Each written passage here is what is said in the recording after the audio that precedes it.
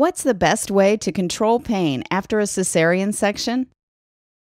Women who give birth by C section typically receive a spinal anesthetic, usually with a small amount of morphine to control pain after surgery.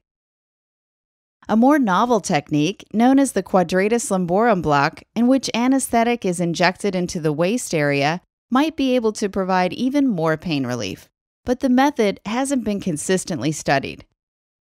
Now, a meta analysis from researchers from the universities of Ottawa and Toronto in Canada and The Ohio State University finds that the quadratus lumborum block doesn't offer a benefit on top of or in place of morphine, but it does improve pain control when morphine isn't used. Some scientists have reported that the quadratus lumborum block improves pain control after a C section.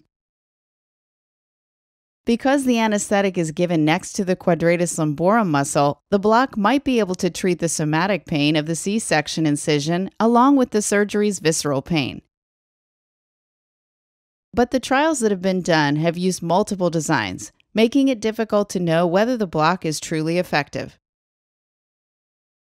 To resolve these issues, the research team conducted a systematic review and meta analysis, out of 82 identified studies, 12 randomized controlled trials, which included nearly a thousand patients, met the criteria for inclusion. Of the 12 studies, four compared spinal morphine alone to spinal morphine with the addition of the quadratus lumborum block.